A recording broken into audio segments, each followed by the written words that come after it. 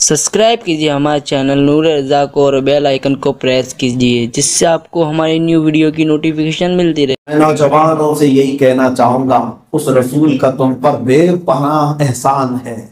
उस एहसान का बदला तुम अपनी ज़िंदगी को जाया करके मत दो।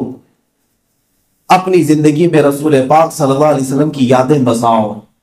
आज से कई साल कबल ही मैंने ये कहा था, ये मोहब्बत कैसे मुंतकिल होती है अपने नबी की? सिर्फ़ तकरीरों से नहीं, हर बाप अपने बच्चे की तरबियत करे, उसी मोहब्बत पर तब ये मुंतकिल होगी। तब ये ट्रांसफ़र होगी। अगर आप ये सोचें कि सिर्फ़ और सिर्फ़ जलसों से और बयानात से ही ये चीज़ें फैलेंगी, ऐसा नहीं है। बल्कि हर मोमिन, हर मुसलमान को ये चाहिए। आज जुमा है। आपने ऐसा मामूल क्यों नहीं बनाया अपने घरों में? कि जुमा के दिन जितने भी मेरे बच्चे हैं, मेरी बहनें, भाई हैं, या ज्वाइंट फैमिली में रहते हैं। जुमा के बाद जाते हैं दस्तरखान पर बैठते हैं। काश कितना अच्छा होता कि एक लुकमा उठाने से पहले हर एक अपने जिम्मे ये ले ले के सौ बार हुजूर पर दुरूद पड़ेंगे फिर आज जुमा के दिन खाना खाएँ। फिर आज हम खाना खाएँगे घरों के अंदर जो इश्क रसूल की बहारें आएँगी, उन्हें समेट नहीं पाओ।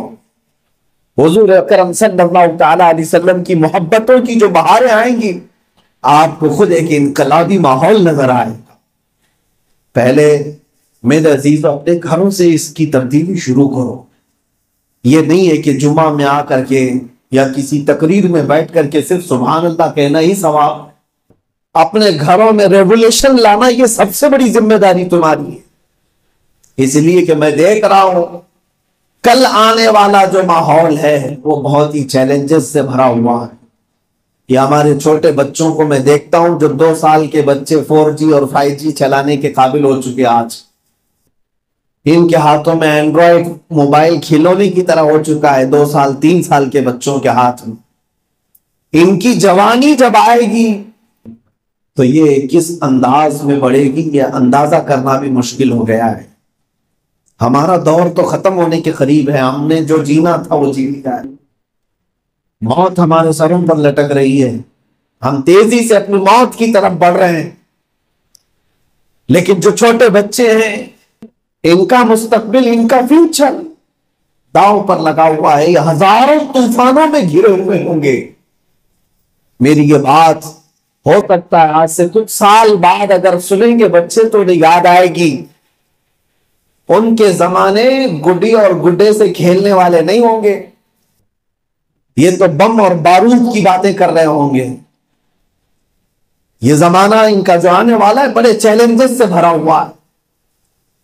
ये वरक और पन्ने पलटने की भी इनको आदत नहीं होगी। हम तो किताबें देख चुके अगली नस्ल किताबें भी नहीं देखने वाली अभी मैं अरब शरीफ से वापस लौटा। कई हमारे पुराने साथी उनमें से हमारे एक साथी वो कह रहे हमारा तकरीबन 300 साल पुराना बिज़नेस, तिजारत।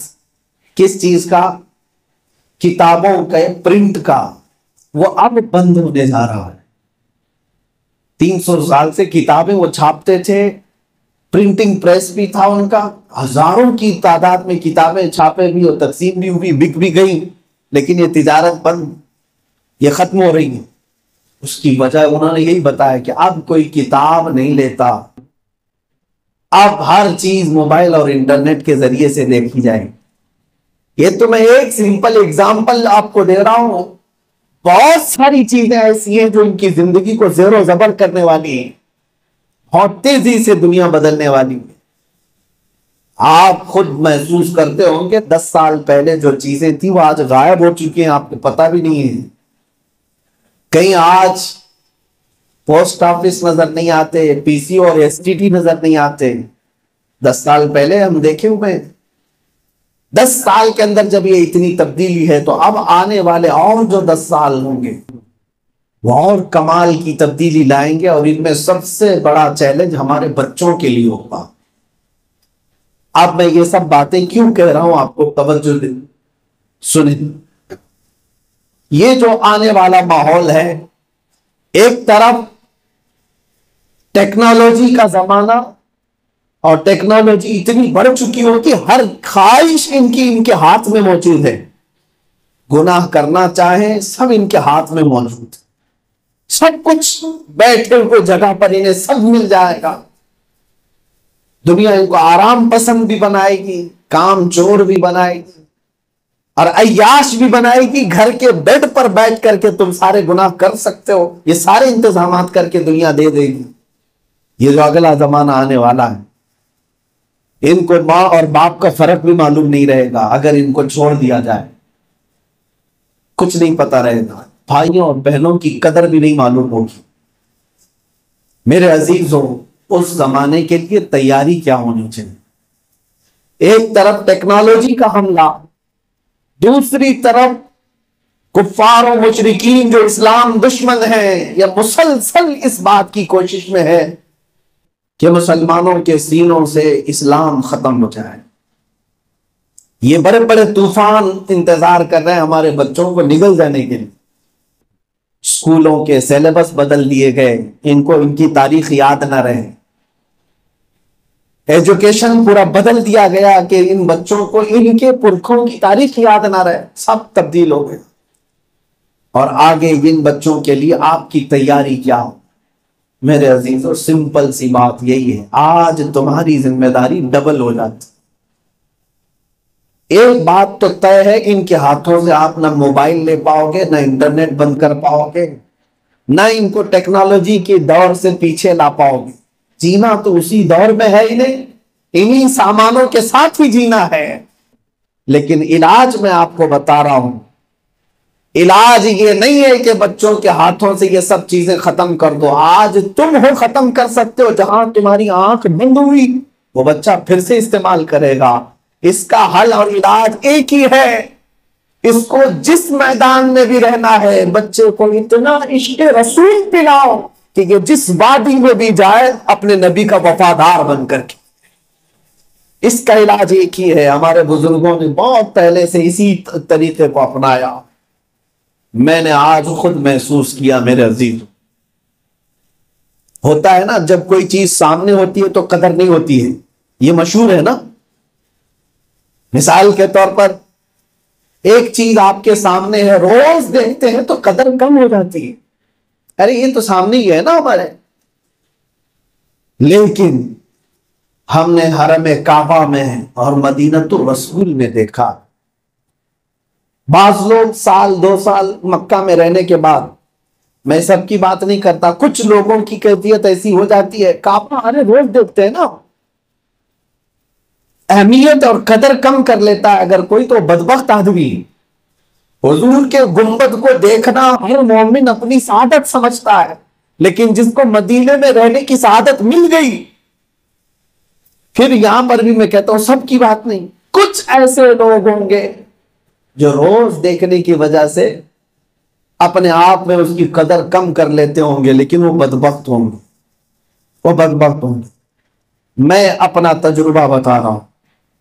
मदीना तयबा में एक घर की एक महफिल में हाजिरी हुई, जिनका खानदान पिछले कई सौ सालों से वहाँ आबाद है।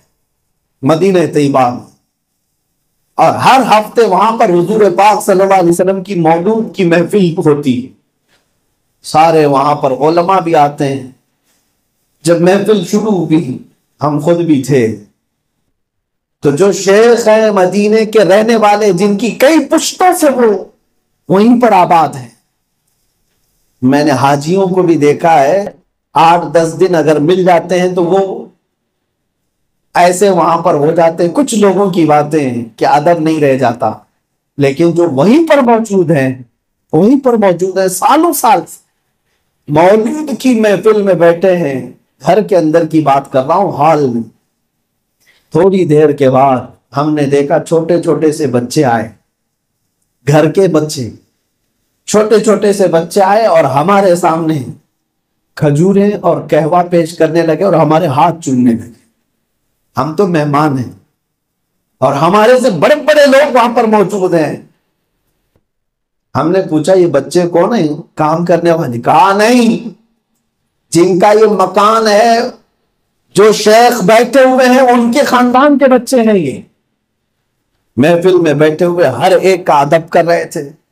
और जैसे हुजूर पाक सल्लल्लाहु अलैहि वसल्लम का ज़िक्र आया आखिर में सब खड़े हो गए और इन बच्चों को हमने देखा, वो गुलाब की पत्तियाँ बिखेरने लगे, हवा में उछालने लगे और अपने नबी के नाम पर सर झुकाकर, अपने सीने पर हाथ रखकर अदब से खड़े हो गए।